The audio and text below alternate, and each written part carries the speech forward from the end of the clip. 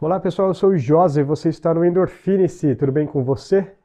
Hoje eu finalmente vou mostrar para vocês um pouco de como eu gero as rotas para esses dois GPS aqui.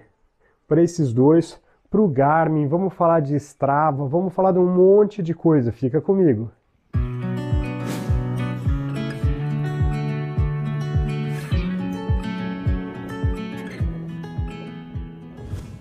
Só que antes de continuar nesse assunto, eu quero pedir para você deixar seu like no vídeo, gente. Tem muita gente que está assistindo os vídeos e não está deixando like no vídeo. Like no vídeo é muito importante. Se você chegou aqui agora e não conhece o canal, também se inscreve no canal. Não custa nada se inscrever no canal, né? Você se inscreve, ativa o sininho, as atualizações vão chegando para você. É um assunto que te interessa, você assiste. É um assunto que não interessa, você deixa passar mas você vai ser avisado quando eu colocar assuntos aqui e eventualmente eu vou colocar assuntos que podem te interessar sim, como esse, por exemplo. E eu também quero pedir para você compartilhar esse vídeo, né? Não seja muquirana com aquilo que você aprende. Não aprenda só para você, aprenda para você e compartilhe com os seus amigos também, né? Pode ter certeza que eles vão gostar mais de você se você começar a compartilhar as coisas que você aprende com eles. Legal? Acho que a primeira coisa para falar, que vocês sabem, né, é que eu gosto muito desses GPS aqui.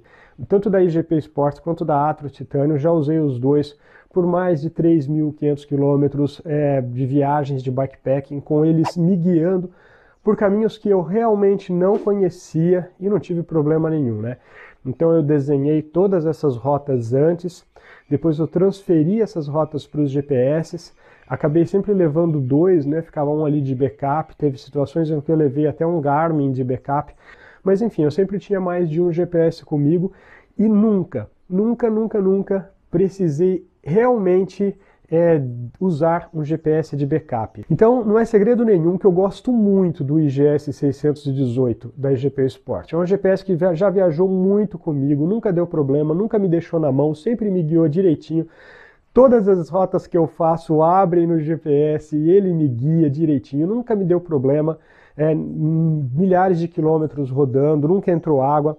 A bateria dele está aqui, está funcionando direitinho ainda. Então é um GPS que eu continuo recomendando demais para você, querido amigo, que quer pedalar e que quer ter um GPS de um custo muito bom para te guiar nos caminhos aí que você for fazer, pelas rotas que você for fazer e para registrar também as, os teus pedais, as tuas viagens para você poder ir lá e conferir depois. Eu sei que já lançaram o IGS 620, que tem melhorias com relação ao 618. Conversa com o seu celular via Wi-Fi enquanto você está pedalando. Enfim, tem algumas outras funções ali que para quem gosta muito de estar atualizado com as últimas versões dos produtos, é uma boa opção também.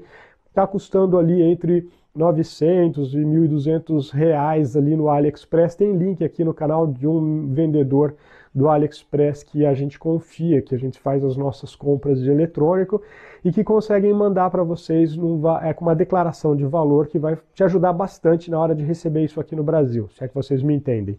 Mas eu continuo indicando bastante o IGS 618, principalmente porque agora ele está numa baita promoção, ele está com um preço muito bom, apesar do dólar estar tá alto, ele tem um preço muito bom. Então são dois GPS que eu realmente, dois modelos né, de GPS que eu realmente recomendo, porque eles é, me ajudaram muito, nunca me deixaram na mão e eu tenho confiança para indicar eles para você.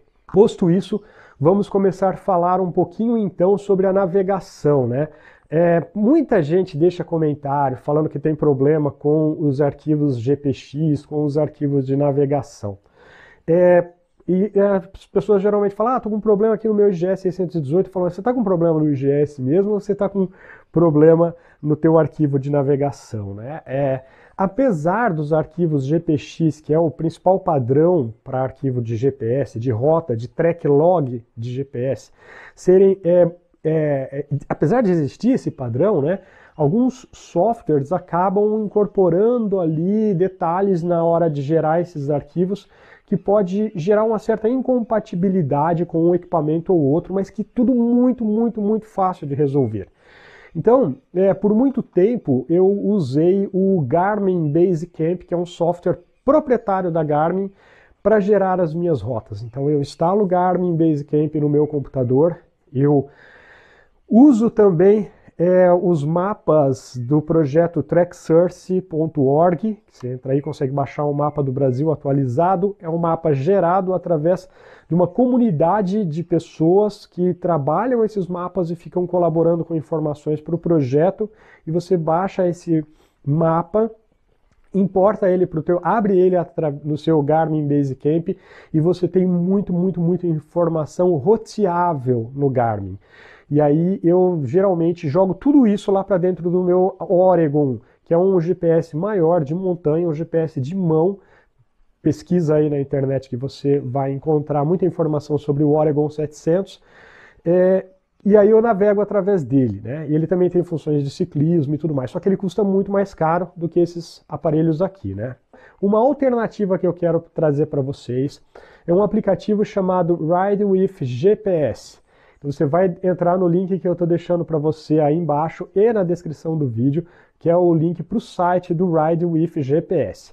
O que, que ele é? Ele é um aplicativo que funciona tanto na plataforma web, como funciona no seu smartphone, seja ele Android ou seja ele iOS. Você tem lá uma versão para cada um para você baixar.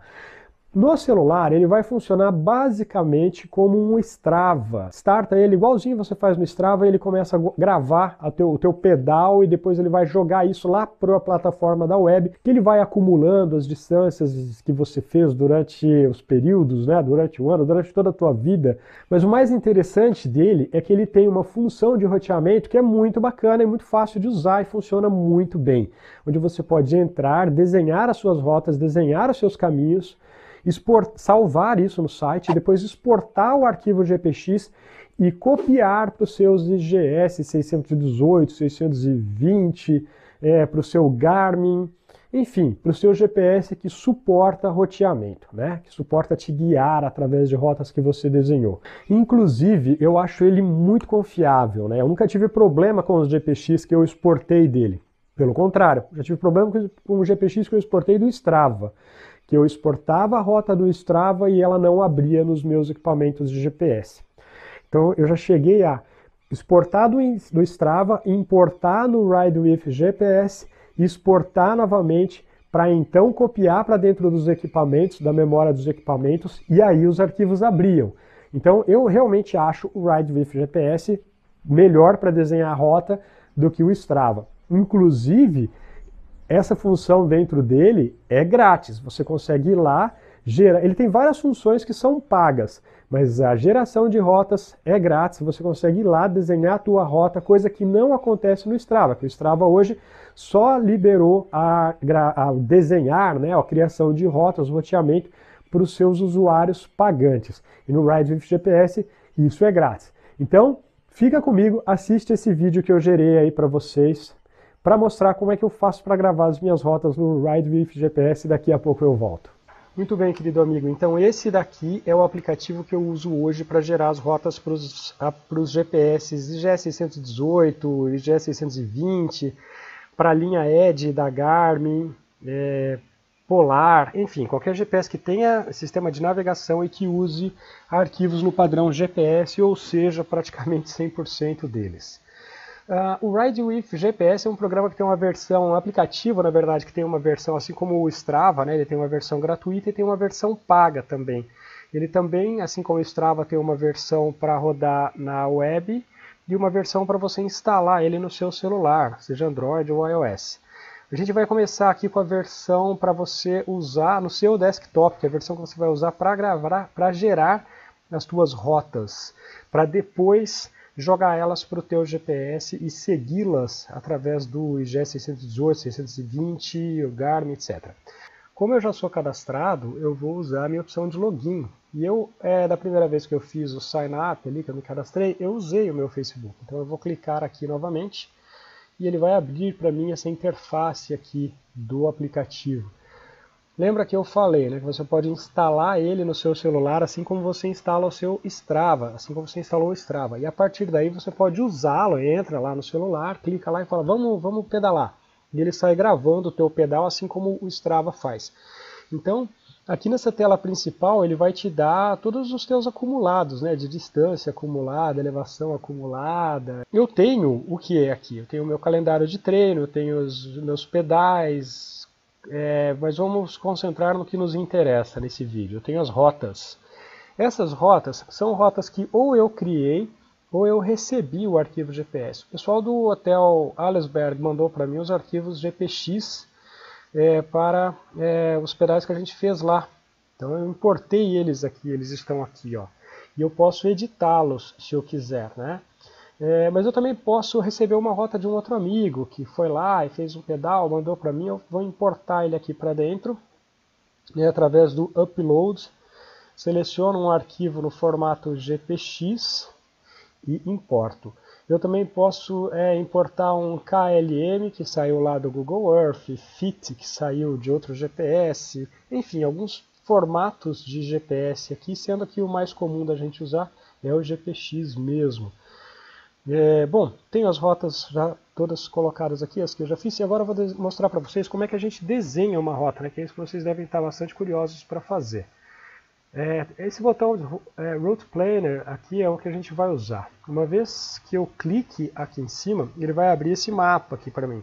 Quando você fizer o seu cadastro e entrar aqui pela primeira vez, ele não vai abrir o mapa exatamente aqui nesse local, ele vai abrir o mapa no outro local do mundo. Se você quiser que sempre ele abra o mapa num local específico, então você vai entrar aqui no seu é, profile e vai pedir para ele é, editar o profile. Então, quando você editar o profile, você tem o, localiz... é, location. E você vai encontrar aqui a tua cidade através dessa interface e vai salvar a tua localização, certo? Então, toda vez que você entrar no Route Planner, ele vai trazer você para essa localização, que é o meu caso, né? Estou aqui na, na, na, Santa Catarina, perto da barragem, e eu tenho é, a, esse mapa como meu mapa padrão de início de rota. Eu tenho aqui outros mapas, tá? Ele tem outros botões aqui, outros tipos de mapa, mapa de satélite do Google, OMS Cycle,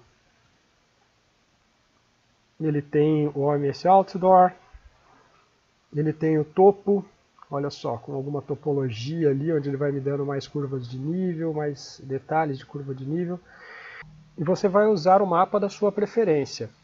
Aqui eu tenho algumas ferramentas, algumas dessas ferramentas aqui são destinadas ao público pagante, né?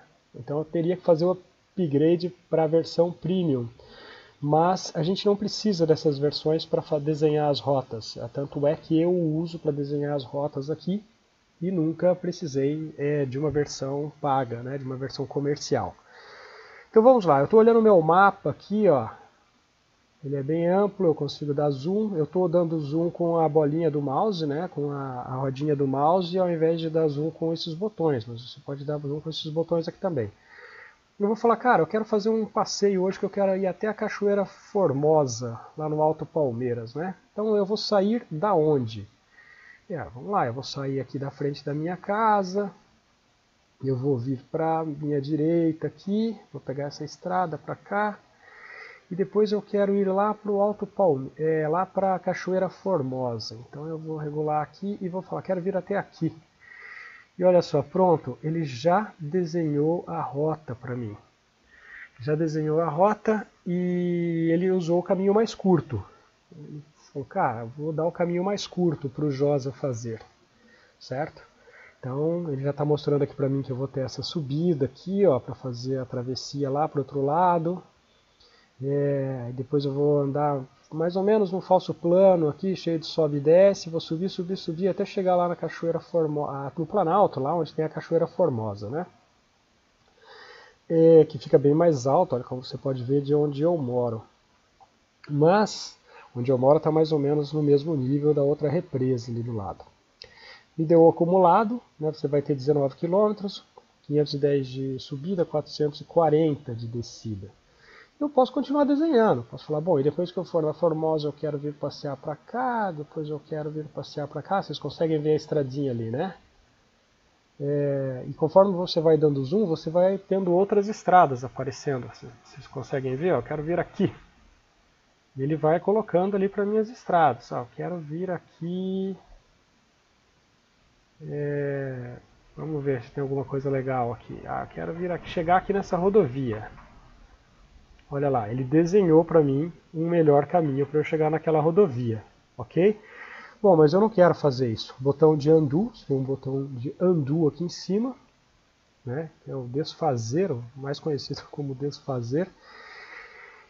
E eu vou falar, bom, mas Cachoeira Formosa tá até aqui, eu não quero fazer a Cachoeira Formosa por esse caminho. Você tem, vai ter sempre duas opções, né? Você pode ou desfazer tudo que você fez, falar, não, eu quero fazer Cachoeira Formosa por esse caminho aqui, e vir desenhando a rota por esse caminho, ou, se você já tem um caminho desenhado até aqui, e você quer alterar esse caminho, você fala assim, bom, então como é que eu vou fazer para alterar? Eu vou adicionar aqui um control point, esse outro botão, Vou adicionar um aqui. E olha só, eu tenho mais uma bolinha que ele colocou aqui. Eu posso pegar essa bolinha e arrastar ela para cá. Ó. Ah, que legal. Ele achou um outro caminho aqui para mim. Mas eu ainda não estou muito contente. Eu quero fazer esse caminho por aqui, ó. Ele foi lá e desenhou o caminho para mim. Não, está muito curto ainda, 27 quilômetros eu tenho que voltar, não tenho? Por onde eu vou voltar? Então eu vou fazer o seguinte, eu vou continuar aqui agora, porque o último é esse. Ó, AD, eu tenho que voltar aqui para esse botãozinho, né? Eu vou descer até aqui e depois eu vou voltar aqui para minha casa. Muito bem, ele criou a minha volta, visitando a Cachoeira Formosa e descendo. Olha lá que bonitinho.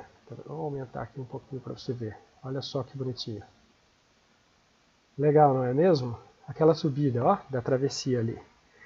Então, é, eu tenho a minha volta feita. Então, eu posso mudar aqui ainda. Posso falar, ah, quero vir até aqui e voltar. Vou adicionar um outro ponto de controle aqui e vamos puxar ele para cá. Olha só, mudei a minha rota.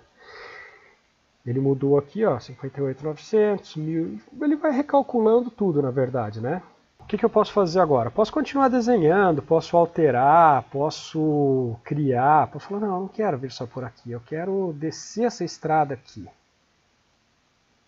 E depois fazer esse outro vale, aqui a gente chama de Vale da Lua, até aqui. Aqui é, nessa, na verdade, essa estrada aqui é a estrada do circuito do cicloturismo, é onde você passa pelo Rio dos Cedros, depois pela Barra do Avencal, e aqui não, aqui você sobe e faz um decidão bem legal no Vale da Lua, e chega aqui na Barra da Vencal também.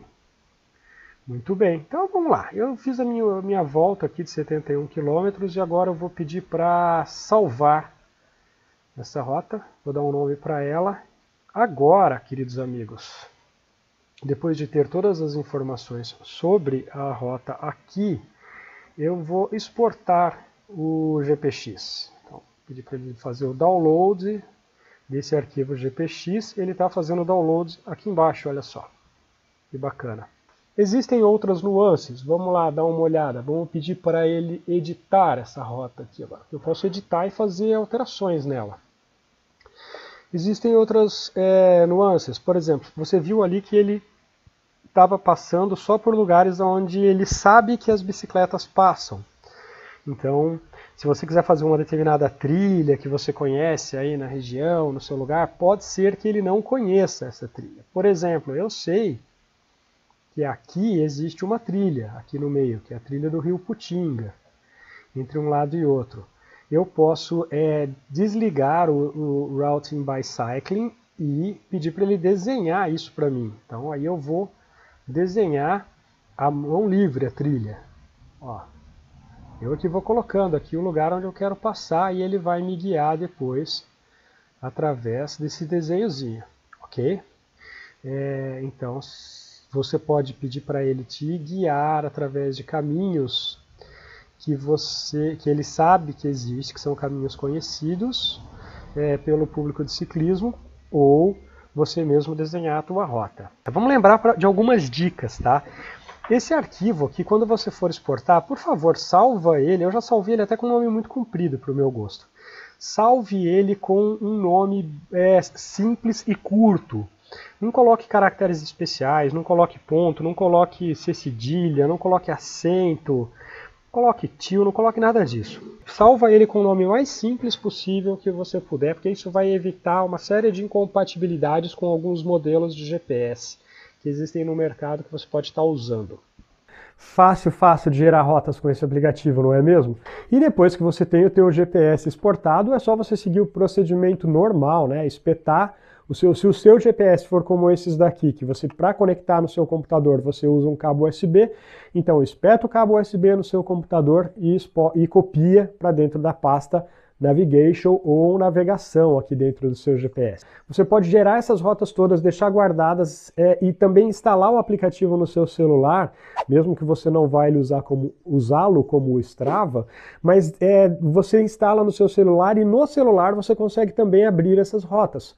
Aí que de repente você tem um problema no seu GPS ou que você é, quer olhar a sua rota, quer estudar a sua rota é, de, numa tela maior, então você pode abrir a tua rota, pode lançar mão de pegar a sua rota ali dentro do aplicativo do celular também. Mas o básico dele está aí, é gerar a tua rota, exportar e você jogar ela para dentro do teu GPS, sair navegando por aí e ser feliz pedalando aqui fora, porque aqui fora é mais legal, certo? Existem outros, é, muitos outros aplicativos como esses que você pode usar na web, que você pode instalar. Eu gosto desse, eu acho esse simples, eu acho esse fácil. Por isso que eu escolhi esse para trazer aqui para você, tá bom? Então, se você ainda não tem um GPS de ciclismo que vai te navegar, que vai gerar, que vai mostrar o caminho para você enquanto você está pedalando, a minha dica continua sendo o IGS 618, que está num preço muito melhor agora é, do que o 620 né? Até porque lançou o 620, caiu o preço do 618. Mas o 620 também é uma ótima opção se você quiser ficar aí up to date com os lançamentos da marca, tá bom? Eu também tenho um outro vídeo aqui onde eu falo sobre altimetria, tá? O pessoal também sempre comenta sobre diferenças de altimetria para Strava, para Garmin, para GPS, de um para outro. Então eu tenho um vídeo aqui onde vou deixar o link na descrição, onde eu falo sobre diferenças de altimetria de equipamentos, ou de Garmin, ou de Strava. Acho muito interessante, é um vídeo antigo, super pertinente, ainda é, o assunto é aquilo lá mesmo, não mudou nada, tá bom? Pode assistir tranquilo que vai te ajudar bastante também a esclarecer aí algumas dúvidas que as pessoas sempre têm sobre altimetria, distância e talvez você tenha também. Vamos lá, a Lemoa trouxe um café aqui para mim, na nossa canequinha, olha só que bonita, nossa canequinha esmaltada. Aqui fora é mais legal, Endorfine-se, é a mesma caneca que eu uso nos meus bikepackings, que você já viu tantas vezes aí, só que agora esmaltada. E com essa, é, é, essas estampas todas, sendo gravadas a 300 graus aqui nesse esmalte, tá bom? Então vamos lá. Se ficou alguma dúvida, se eu deixei de falar alguma coisa que você acha importante, então deixa aí no comentário para mim. Pergunta aí no comentário que a gente responde. Às vezes a gente pode até demorar um pouquinho para responder, mas a gente responde sim. Se tem alguma consideração que você queira fazer para contribuir com esse conteúdo, então eu também convido para você fazer isso gentilmente aí nos comentários contribuições são sempre bem-vindas, né? Como eu disse. Então, se eu esqueci de falar alguma coisa, se você não concorda com alguma coisa, por favor, gentilmente me comunique e a gente vai falar sobre esse assunto também futuramente, ok? Muito obrigado por assistir o vídeo. Enquanto o próximo vídeo não chega, vem aqui para fora, porque aqui fora é mais legal. Tchau!